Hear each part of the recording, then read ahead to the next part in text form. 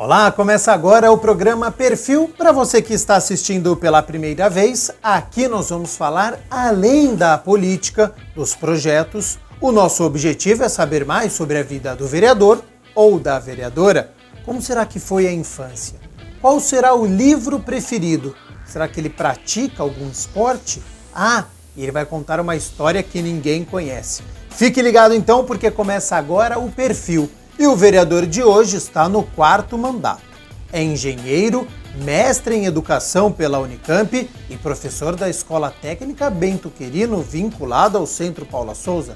Filiado ao PSOL desde 2005, foi presidente municipal e estadual do partido, candidato à Prefeitura de Campinas em 2008 e a governador do estado de São Paulo em 2010. Já sabe quem é? Paulo Búfalo, muito obrigado por ter aceito o convite para participar aqui do perfil. Quarto mandato, essa experiência você acha que pode te ajudar nessa legislatura? Não, sem dúvida. Embora nós vivemos um momento particularmente diferente, né? seja aí pela, pela circunstância é, da pandemia, mas sobretudo pela circunstância dos rumos que o país tomou desde as últimas eleições nacionais, né? Então, é, embora a experiência ajude, nós estamos num momento muito peculiar da nossa uhum. história. Você nasceu em Campinas, cresceu em algum bairro ou foi migrando pela cidade?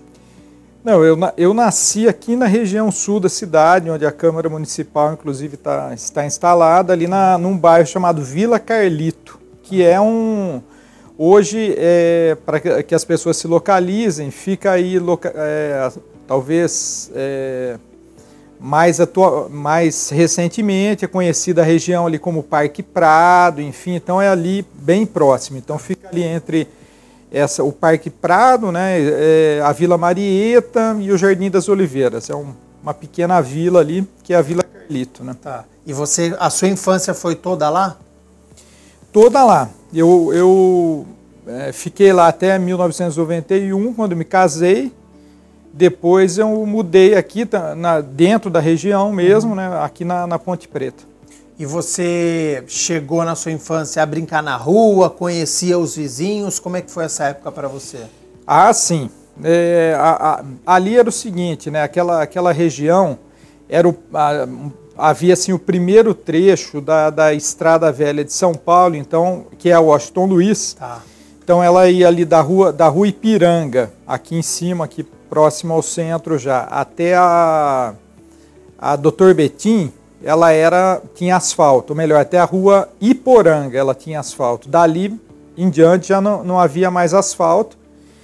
E Paralelo a ela havia a rua José de Marete, onde eu morava, né? E, e, nesse local, então, era que nós nos concentrávamos no período da noite, muita, muita criança, muita gurizada, assim, e que a gente ah, vivia a infância ali, as brincadeiras, enfim, no período, durante todo o dia, era nessa, nessa coisa da estrada, né, da estrada uhum. velha de São Paulo, onde também meus familiares também moravam por ali, por circunstâncias da família, que veio para cá em 1940, 30, 40 ali.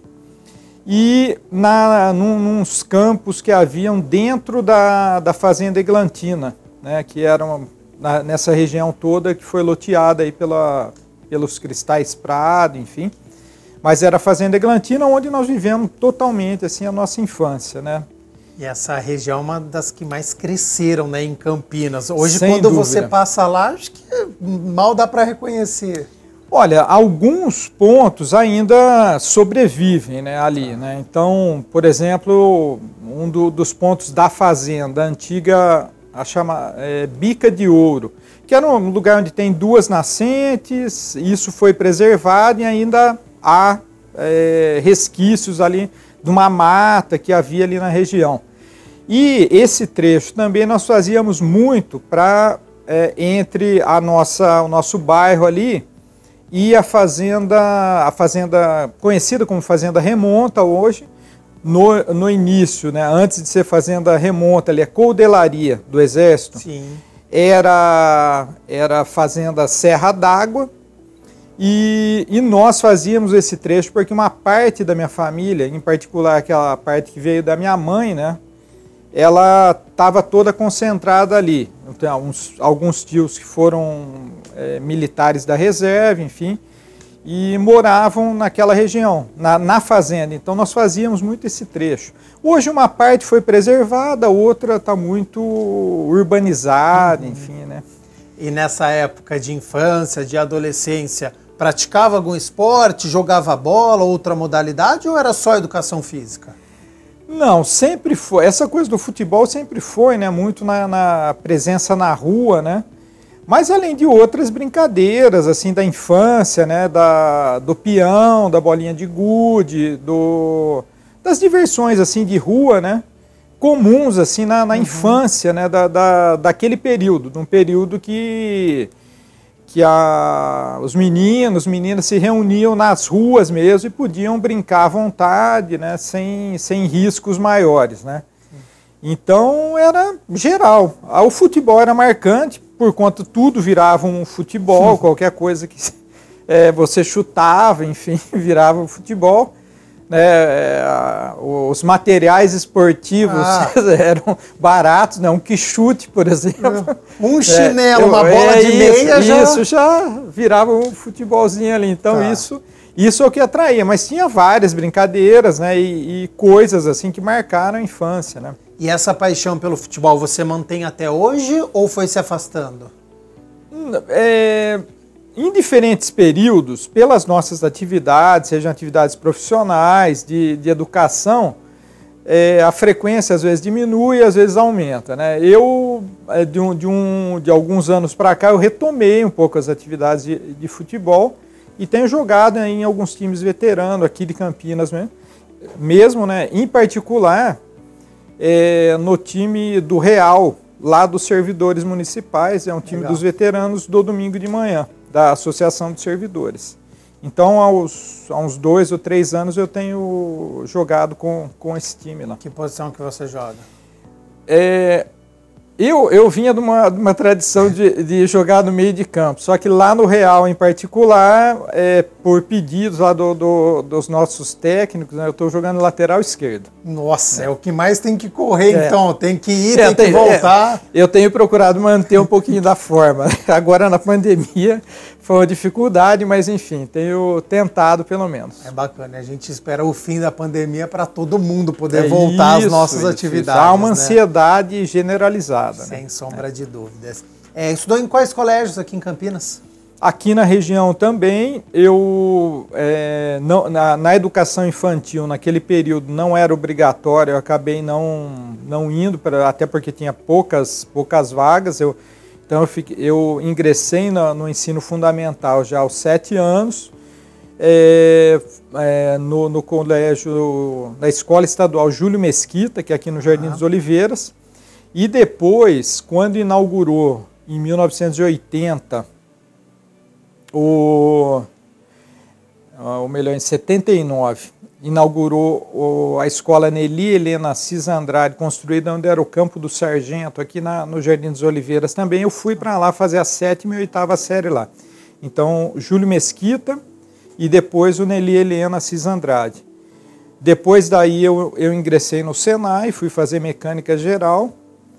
Já no, no ano seguinte eu, ingre, eu ingressei no, no Colégio Culto à Ciência para fazer o meu ensino médio depois fui, é, fiz um ano de cursinho ainda antes de transitar para a universidade. Frequentei um ano do curso de biologia. Depois tranquei o curso de biologia. Infelizmente, era uma, eu queria fazer o curso de biologia, mas era incompatível com a minha atividade profissional à época. E eu não tinha como romper com a atividade profissional porque era sustento da família.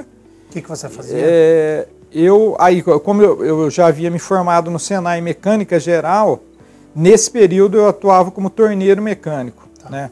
É, que eu fiz na, o Senai pela entrei sem empresa, depois fui chamado pela Carborundo na cidade de Vinhedo e fui trabalhar na irrigação da Carborundo. E na, no, no, nesse departamento de irrigação eu fiquei ali é, cerca de 15 anos praticamente. Foi seu primeiro emprego? Meu, não. Na verdade, antes de eu ingressar no Senai, nessa transição, ainda no, no ensino fundamental, eu trabalhei um ano é, numa, numa mercearia que fica atrás da, da igreja Santa Terezinha, aqui na, no Jardim dos Olhos, uh, na, na Vila Oquita, na verdade, Vila Marieta. Tá. E também três meses no Mercadão Municipal, numa banca de frutas. Adolescente. Adolescente, adolescente. Depois, não havia um regramento ainda de ingresso, né, da idade. Mas foi por opção sua ou seus pais que pediram para você poder ajudar em casa? É, na verdade, duas questões. Eu já não, não contava mais com o meu pai, né, que foi um, um fato aí que depois a gente pode, inclusive, relatar. Mas aí era uma opção, as duas questões. Eu tá. queria emancipar um pouco e também a questão da, da ajuda financeira na, em casa. E aí eu fiz biologia é, durante um ano, tranquei e fui fazer engenharia mecânica e fiz até o final. Né?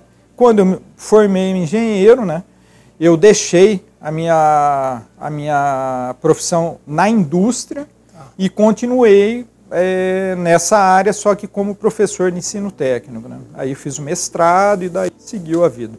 Paulo, quando que na sua vida você teve a relação com a política? Os seus pais te incentivaram, partiu de você, partiu de influência de amigos? Como é que foi essa sua relação? Olha, no, ao longo dessa trajetória que eu já relatei aqui, tanto na educação como na empresa, eu já, vi, já tinha um certo, uma, uma certa percepção da organização, seja organização estudantil, seja organização sindical. Tá. Nunca tinha me envolvido muito é, com, com, muita na, na, estrutura dessas organizações, mas tinha noção. Depois, quando eu é, passei a militar no, num, num grupo de juventude, numa pastoral da juventude da Igreja Católica, na Igreja Santo Antônio, inclusive é vizinha aqui da Câmara Municipal. Sim era um grupo de juventude bem, bem atuante. Nós tínhamos lá uns estudos teológicos, enfim, de, de atuação sociológica. E a partir daí eu comecei a ingressar mais na política. Depois eu fui, daí eu já fui mais dedicado a alguns movimentos na, na área da infância, na área da organização é, dos movimentos de reforma agrária e fui é, então é, começando a minha militância. Depois daí eu ingressei. A família nunca incentivou muito, não, pelo contrário. Né? Eles enxergavam com o pé atrás, ficavam preocupados? É, sempre ficaram, porque eu sou filho de um operário da construção civil e uma costureira, enfim, e meus irmãos todos operários da indústria, é, dois em particular, um, um deles não ainda, não, não, havia ingressado ainda quando faleceu, em 1974. É, mas, então havia já um certo temor da época, enfim, ou, é, esse temor da atuação política, porque atuar politicamente no país não era nada fácil, não, né?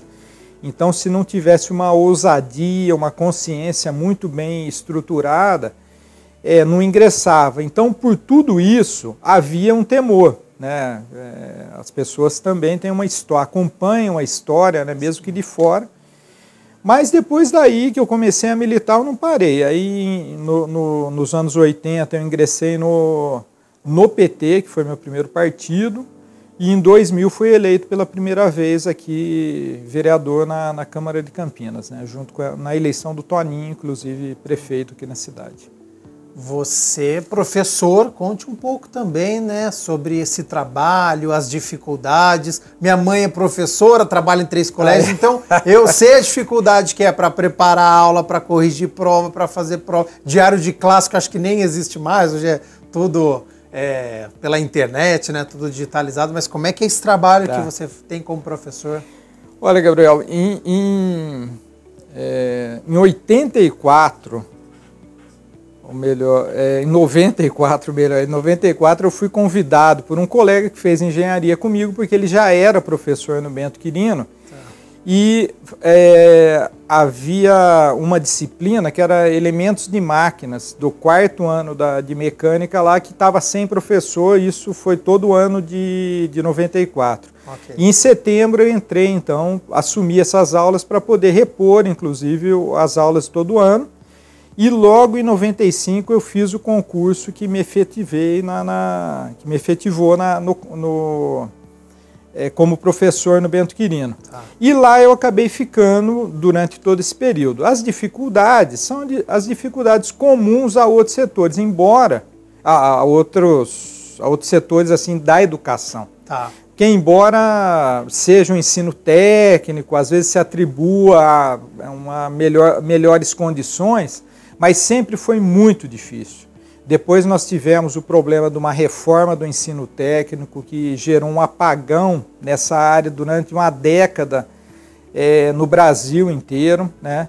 É, mas isso também, a mobilização para explicar isso também serviu para nos aproximar muito do, dos alunos, alunos, e eu sempre tive essa relação muito próxima. Eu sou titular do departamento de mecânica lá, já fui coordenador de, desse curso, mas já fui professor em outras áreas também, tanto na área técnica como na área, na disciplina de ética, atuei algum, algum período com, com as turmas lá. Paulo, como é que você lida com as redes sociais? Você é atuante, faz debate por Facebook, por Twitter, ou você só é, gosta de ler as notícias? Como é que é a sua relação com a internet? Ah, eu, embora, né, eu, eu é, tenho uma avaliação de que nós precisamos atuar ali com muita qualidade, inclusive assim uma, uma estética, enfim, do, daqui, da, daquilo que se apresenta na rede social, eu me aventuro ali em algumas coisas, escrever uma opinião ou outra, enfim, né? E sempre a assessoria e o pessoal que atua junto recomenda esse, esse cuidado. Então eu costumo é, transitar por algumas redes sociais, algumas o pessoal é, dedica-se mais assim a, a, produzir, outras eu acabo me dedicando mais em períodos diferentes. Às vezes eu dou uma, faço uma crítica ali sobre futebol, essas coisas, essas reclamações.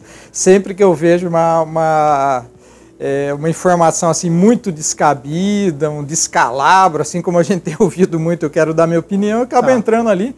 É um Twitter, uma uma, algo no Instagram ou, ou no Facebook, utilizo uhum. muito, né?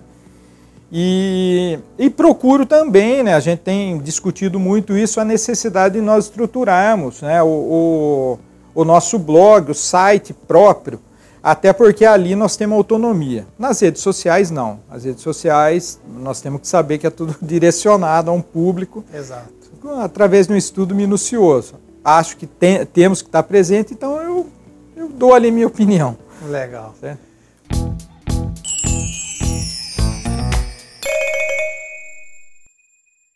Vereador, hora de um quadro aqui no nosso programa. Nós já estamos nos encaminhando para o final. O que ninguém sabe. A gente quer saber uma história, uma curiosidade, alguma coisa que já te aconteceu, que quem está em casa não tem a menor noção, mas que é verdade que aconteceu. Olha, do, é, eu vou então citar duas histórias aqui. Tá. Uma que eu já comecei a dizer, uma é trágica, parte das pessoas sabe, e uma outra interessante, assim, né? É, bom, em 1974 eu tinha sete anos e a minha família aqui na região mesmo, voltando de um, de um casamento, teve uma colisão aqui, um acidente.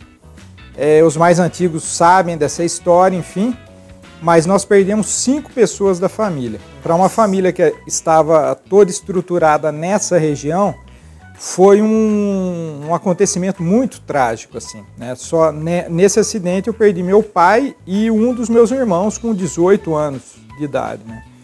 Então foi muito trágico assim, é uma coisa que marcou muito na minha vida. Então é um, é um acontecimento que às vezes as pessoas ficam em dúvida. Eu era então daquele núcleo familiar, de um dos núcleos familiares, o mais novo dessa, desse núcleo familiar.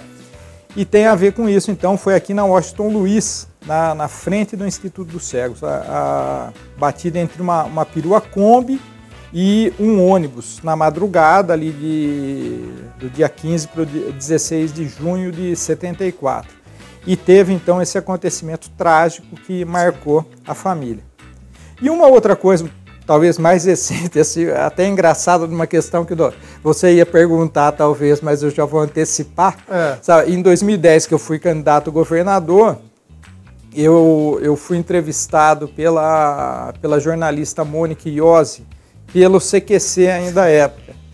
E ela, entre outras perguntas, no momento da apresentação, então ela me perguntou, não estava no ar isso, mas ela foi um acontecimento. Ela falou o seguinte: para que time que eu torcia? E eu já respondi. Falei, é, eu torço para Ponte Preta. Ela falou, poxa, mas como assim você responde? Todo mundo fica fazendo firula como candidato. Falei, bom, o cara que faz firula e não fala o time que torce de fato, velho, já deu um passo ali que vai enganar, vai enganar o cidadão. Então, apesar do, dessa polarização aqui em Campinas, né, dessa uhum. paixão é, preta e branca ou verde e branca, eu lido com isso com tranquilidade, eu, eu procuro separar essa questão da política, não dá para a gente, na nossa cabeça, separar a, pa a paixão da nossa atuação, mas eu procuro fazer isso. Legal. Então eu sempre manifesto né, o fato de eu ser ponte pretano e, aliás, é muito feliz de ter conseguido, mesmo com a pressão que tem dos grandes times, dos os grandes clubes da capital, ter convencido meu filho, que hoje tem é, 16 anos, né? A ser torcedor também da Ponte Preta. Olha, que legal. Eu vou fazer a mesma pergunta que eu fiz para o Gustavo Pedro, que ele falou também, que ele é palmeirense, convenceu o filho a ser palmeirense. Quando ele era criança, você também mentia resultado para ele? A Ponte era o melhor time, sempre vencia? Ou você já dava aquele choque de realidade? Ó, oh, talvez não vá conquistar título, talvez não vai ter muitas vitórias. Como é que foi essa infância? Ele comprava pipoca, sorvete no estádio? Não, não, nós sempre frequentamos o, o estádio da, da, Ponte Preta. Ele desde criança né, frequentou e não tinha, não tinha ilusão não.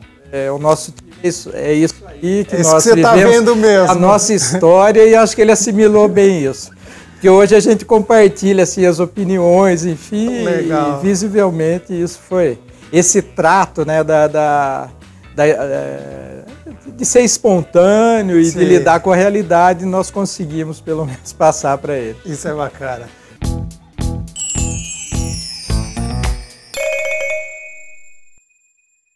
Vereador, para a gente encerrar aqui o nosso último quadro, são as preferências. Eu vou fazendo algumas perguntas para você e você diz o que você gosta mais.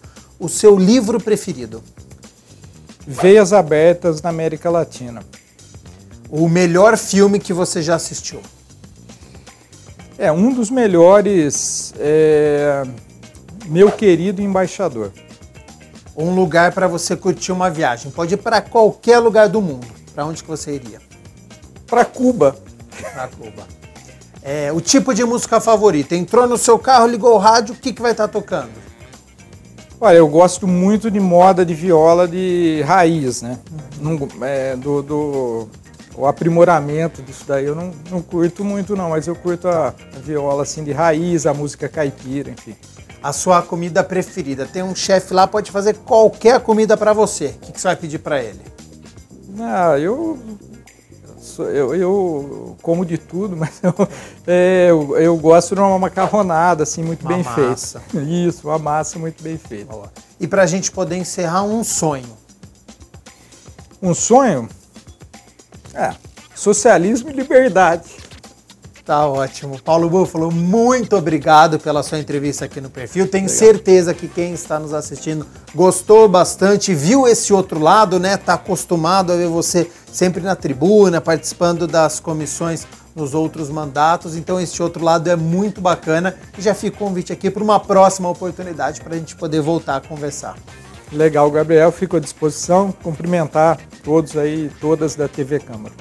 Tá certo, então, Paulo Búfalo participando aqui do perfil. Muito obrigado a você pela companhia e pela audiência. Até a próxima. Tchau, tchau.